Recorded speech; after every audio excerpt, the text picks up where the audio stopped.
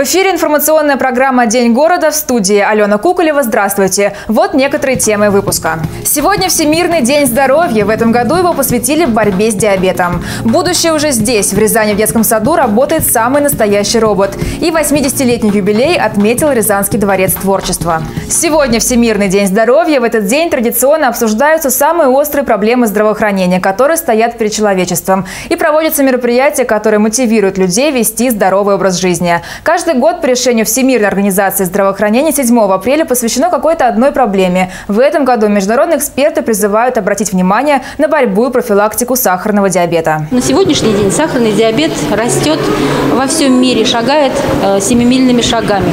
И численность возрастает очень сильно в геометрической прогрессии. И по прогнозам Всемирной организации здравоохранения число больных диабетом к 2025 году будет 550 миллионов человек в мире. Это очень большой большая цифра, она постоянно увеличивается, прогнозы постоянно коррегируются. И растет в основном сахарный диабет второго типа. Это диабет зрелого, среднего и пожилого возраста. Самый трудоспособный возраст, старше 40 лет, вот он как раз находится в зоне опасности диабета второго типа.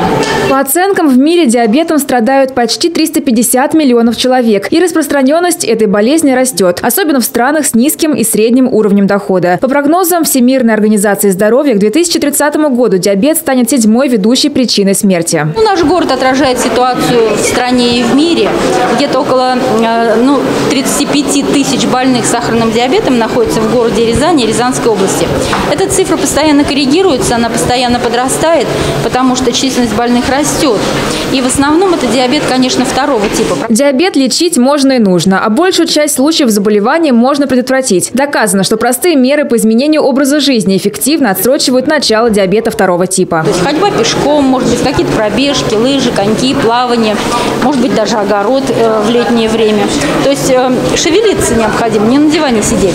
Если же у вас есть гены, несущие информацию о диабете, то есть наследственная предрасположенность, плюс возраст подступает лет 40-50, и плюс у вас есть избыточный вес, то вот это как раз самые мощные факторы риска. Вес избыточный, ожирение. Рязанский дворец детского творчества отметил большой праздник. В нашем городе его открыли ровно 80 лет назад. За это время тысячи школьников прошли дополнительное обучение в танцевальных кружках, спортивных секциях и творческих мастерских. На празднике побывала Ирина Ковалева. Здание Дворца детского творчества, известное большинству как Дворец пионеров, было открыто в далеком 1957 году, а сама организация, объединяющая различные детские кружки, существует в нашем городе с 1936 года, так что сегодня ей исполняется ровно 80 лет. На протяжении всей своей истории сначала дом, затем Дворец пионеров, ну а сегодня Дворец детского творчества занимается воспитанием и развитием творческого потенциала у детей. Это и изобразительное искусство, это и социальная деятельность детей, это изучение английского языка. В этом году мы делаем эксперимент, мы ввели арабский и немецкий язык, то есть попытались сделать э, такую стартовую площадочку. Это работа волонтерского отряда. То есть э, вообще вот сама деятельность дворца, она очень многогранна,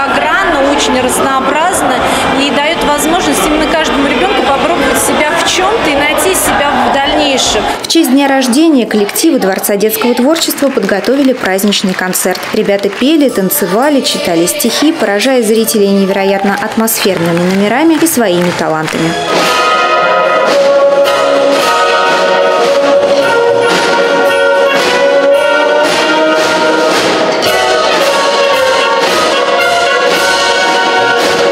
Не обошлось в этот день и без поздравлений. Так заместитель председателя правительства Елена Буняшина зачитала приветственный адрес от губернатора Рязанской области Олега Ковалева. Уважаемые коллеги, поздравляю вас и весь коллектив с 80-летием Рязанского городского дворца детского творчества. Все эти годы в учреждении ведется большая, многогранная и очень значимая работа. Здесь наше подрастающее свои творческие способности в разных сферах, учится быть настоящими патриотами. Преподавателям вручили почетные знаки и грамоты, а также от администрации города Дворец детского творчества получил денежный грант в размере более миллиона рублей. В этом году 95-й юбилей отмечает Рязанский гарнизонный военный суд. Как отмечают в самом учреждении, военнослужащие все чаще стали обращаться в суд за защитой своих гражданских прав. Чаще всего военные жалуются в Рязанский гарнизонный суд на необеспечение довольствием и проблемы с жильем. В Рязанском доме офицеров состоялось торжественное заседание, посвященное 95-летию образования Рязанского гарнизонного военного суда. В 1921 году был образован Рязанский военный трибунал Московского военного округа. В актовом зале Рязанского дома офицеров собрались ветераны и ныне действующие представители судейского корпуса. В составе единой судебной системы России Рязанский гарнизонный военный воинских формирований, дислоцированных в Рязанской области и четырех районах Московской области – Луховицкий, Зарайский, Коломенский, Озерский. Реально обеспечивают защиту законных прав военнослужащих. Необходимость существования системы военных судов наряду с другими судами общей юрисдикции обусловлена особой спецификой задач, решаемых военной организацией нашего государства. Осуществление правосудия в войсках требует от военных судей не только общей юридической подготовки, но и глубокого знания военного законодательства, воинских уставов, наставлений приказов, самих условий жизни и деятельности войск, специфики воинских правоотношений, сущности, дисциплины и правопорядка в армии. С уверенностью можно сказать, что судьи Рязанского гарнизонного военного суда соответствуют высоким требованиям. Все имеют профессиональное образование, фундаментальные знания и профессиональный опыт. В регионе сейчас продолжается досрочный этап сдачи ЕГЭ. Всего в этом году выпускники рязанских школ будут сдавать ЕГЭ по 13 из 14 предметов. По информации Министерства образования, никто не проявил интерес к экзамену по испанскому языку. Самыми популярными среди предметов по выбору традиционно стали обществознание, история, физика, биология и химия. 9 апреля закончится резервный период сдачи ЕГЭ. И совсем немного остается до начала основного этапа сдачи единых государственных экзаменов. 27 мая выпускники сдадут географию и литературу, 30 мая русский язык, 2 июня математику. 20 июня закончится сложный для школьников период. Стоит отметить, что формат ЕГЭ поменялся, но по сей день вызывает много споров. Одним из показателей образования стали результаты ЕГЭ когда 30% э, учеников выпускных классов не смогли сдать русский язык на тройку, да, набрали ниже 36 баллов. То есть они не имели возможности закончить школу. То есть это показатель вот того, что сегодня есть в системе образования. Вот недавно встречаясь с господином Булаевым, в свое время он занимал пост председателя Комитета образования Государственной Думы, э, с кого-то и началось все эти реформы, да, вот и который был поддержкой как бы вот этих вот всех зачинаний. Вот, он и сказал, о, высказался о репетиторах, в частности, о том, что сегодня в городе хороших репетиторов не найти, его внукам сложно там, перейти с второго третьего класса без качественных репетиторов. И решая вот этот вот вопрос э, в оценке знаний – он высказался о том, что слишком сложные задания были на ЕГЭ вот в 2014 году. Поэтому Министерство образования пошло простым путем. Оно упростило задачи по ЕГЭ, по русскому языку, по математике, по всем предметам, а, для того, чтобы дети полегче сдавали. А, мало того, что был опущен сам, сама оценка да, с 36 баллов по русскому языку до 24. Они еще и упростили сами задачи. Настольный теннис и спортивные танцы. Сегодня состоялось торжественное открытие нового зала в спортивной школе «Орион». Его площадь составляет 300 квадратных метров. Но главное, что помещение полностью оснащено для занятий лиц с ограниченными возможностями здоровья. Новое спортивное снаряжение, свежий ремонт, просторный зал. Открытие нового помещения на базе спортшколы «Орион» стало долгожданным событием для жителей микрорайона. Здесь ребята смогут заниматься велоспортом, футболом, настольным, теннисом, спортивными танцами и легкой атлетикой. Особенность школы состоит в том, что заниматься здесь могут дети и подростки с поражением опорно-двигательного аппарата. Я надеюсь,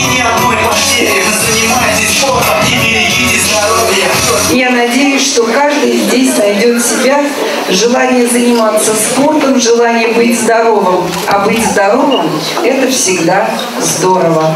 С праздником, с Днем здоровья всех! Всем всего самого-самого доброго! Сегодня в школе занимаются 440 спортсменов. Обучают их одни из лучших тренеров-преподавателей города. Более 30 человек из воспитанников школы входят в состав сборных команд города Рязани по различным видам спорта. В состав сборной Рязанской области входят 18 человек, занимающихся на отделении танцевальный спорт, легкая атлетика для лиц с поражением опорно-двигательного аппарата. Также ребята являются членами сборной России. Появилась такая прекрасная возможность заниматься спортом, вести здоровый образ жизни. Учитывая, например, то, что сейчас наши дети любят заниматься компьютерами больше, да, сидеть в компьютерах.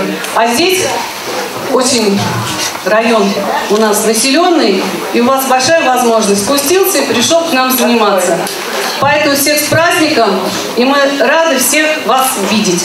Популяризация спорта в Рязани области проходит на ура. Совсем юные ребята, нынешние и будущие воспитанники Ориона долго ждали открытия нового зала, радовались и торопились все рассмотреть, разузнать что да как. Теперь у них есть прекрасная возможность заниматься любимым видом спорта, не добираясь до школы в соседний район. Будущее уже здесь. В Рязани в детском саду работает самый настоящий робот. Благодаря нему родители могут наблюдать за деятельностью своих детей, не покидая рабочего места в режиме онлайн. Какие еще функции выполняет необычный воспитатель в следующем материале. Вчера нам казалось это фантастикой, а уже сегодня наши дети знакомятся с роботами не на страницах литературных произведений, а в стенах детского сада. Робот Ярослав приветствует телекомпанию «Город». И мы приветствуем тебя. Робот Ярослав уже стал членом большой дружной семьи детского сада номер 30. Он не только участвует в образовательном процессе, но еще и дарит детям и взрослым положительные эмоции. Чмок. Чмок. Ярослав живет в детском саду уже целый год, в общем-то, с момента его открытия. Изначально планировалось, что робот будет выступать только в качестве веб-камеры, благодаря которой родители смогут наблюдать за успехами своих детей на занятиях. Однако живая реакция ребят на Ярослава, желание с ним общаться, изменило его изначальное предназначение. Сегодня робот используется как дидактическая игрушка, которая помогает детям раскрепоститься, а педагогам грамотно строить работу с малышами. По сути, на занятиях Ярослав играет роль второго педагога. Если э, подгруппа детей приходит, педагог не может, э, иногда не успевает охватить всех детей сразу, и здесь как раз вот приходит на помощь вот этот робот тому, как за одними детьми наблюдает непосредственно сам педагог, а за вторыми именно с помощью робота наблюдает второй педагог. Во время занятий Ярослав задает ребятам вопросы, объясняет правила дорожного движения, оценивает правильность выполнения заданий и не только. А мне хочется потанцевать. Давайте потанцуем. Будем танцевать, Ярослав, ребят? Мне музыки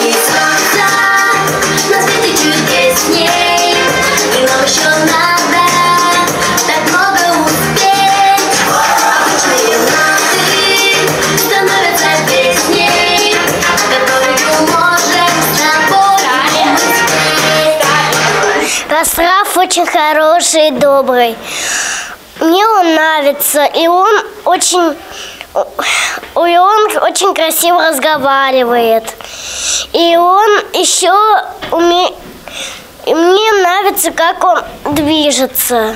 Ребята понимают, что перед ними робот, однако относятся к Ярославу как к живому, разумному существу. Им не вдомек, что в кабинете по соседству опытный педагог управляет их лучшим другом с помощью компьютера, а все, что делается на занятиях, записывается на камеру и выкладывается на сайт детского сада. Родитель может посмотреть, как педагог задает вопросы детям, как правильно строится фраза, чтобы дома, когда они занимаются уже самостоятельно, родитель мог это сделать правильно. Однако педагоги отмечают, что роботы никогда не смогут заменить живого общения, ведь ласку и любовь, которые так необходимы детям, машины, к сожалению или счастью, дарить не способны.